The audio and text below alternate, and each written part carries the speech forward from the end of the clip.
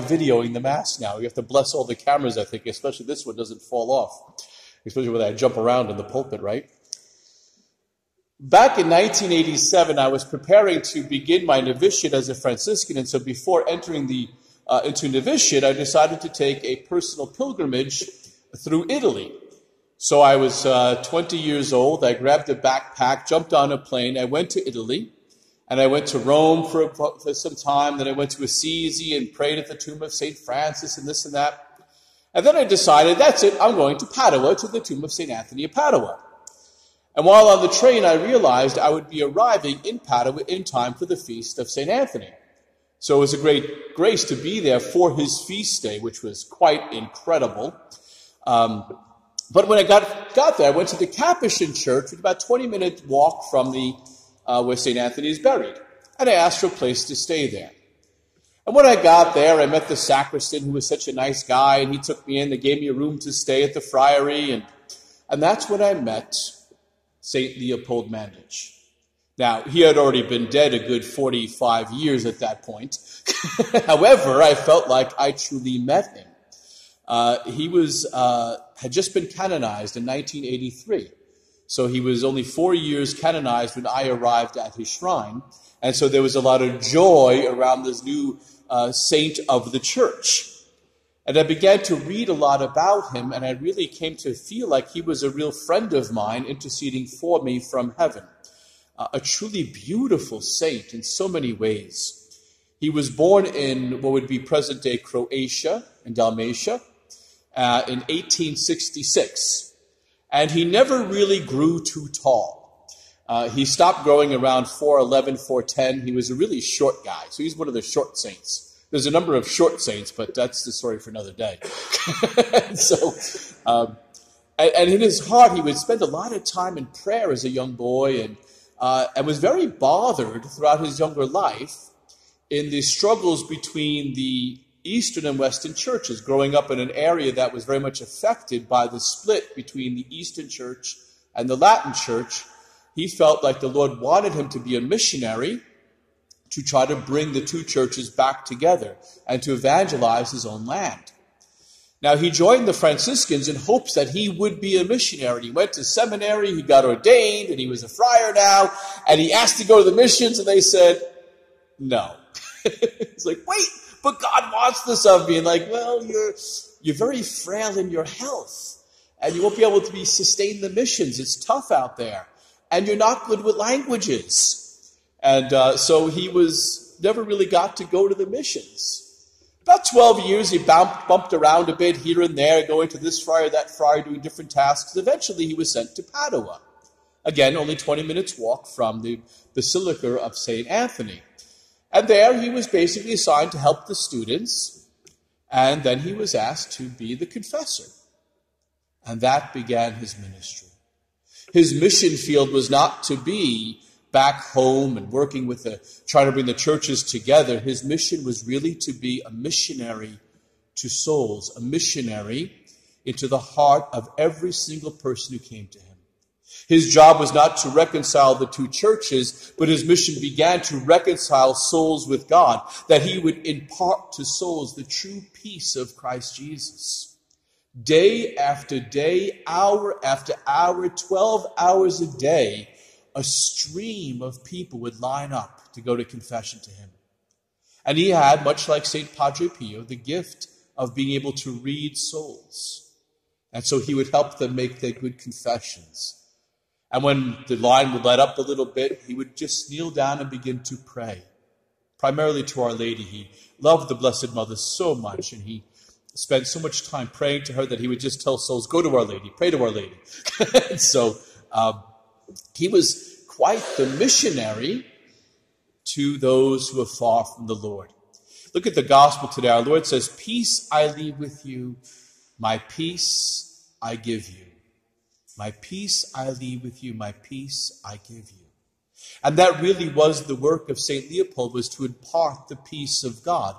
Peace that came through the forgiveness of sins peace that came through the absolving of sins, peace that came through knowing that these souls were reconciled to God, peace that came from knowing their sins were forgiven them and that they were free to now live as children of God, free of the guilt and the blame and the shame that was laying upon their shoulders.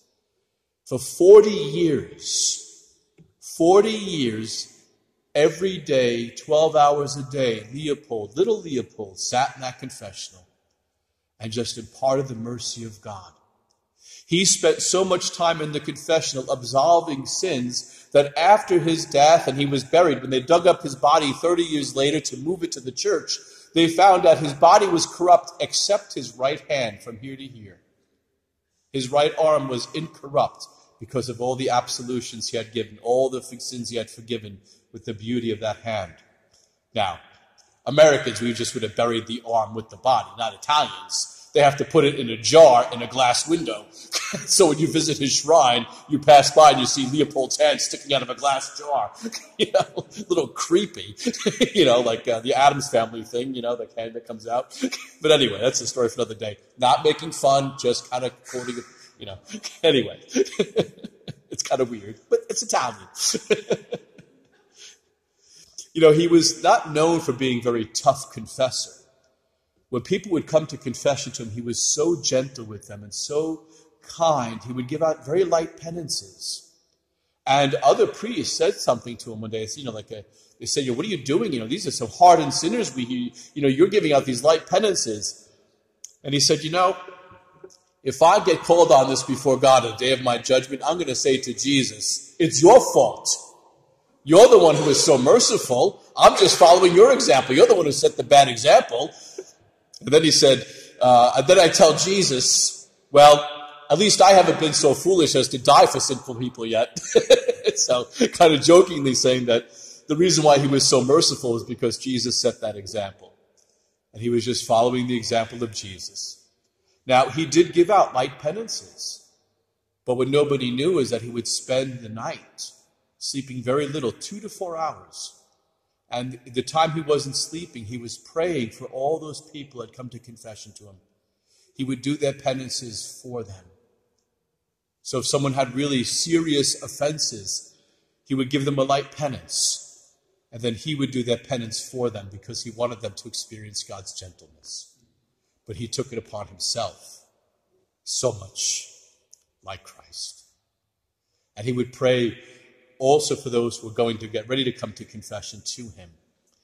He had many, many miracles that he worked, uh, numerous, and not even too many to recount how many miracles he worked, and would just tell people he'd pray for them, and then it would happen. They would be healed. They would be risen from the dead. They would be saved from death. I mean, just amazing the amount of his miracles. It was just tremendous. This little saint, this little guy, uh, who was truly a powerhouse and a giant of God's mercy and God's goodness.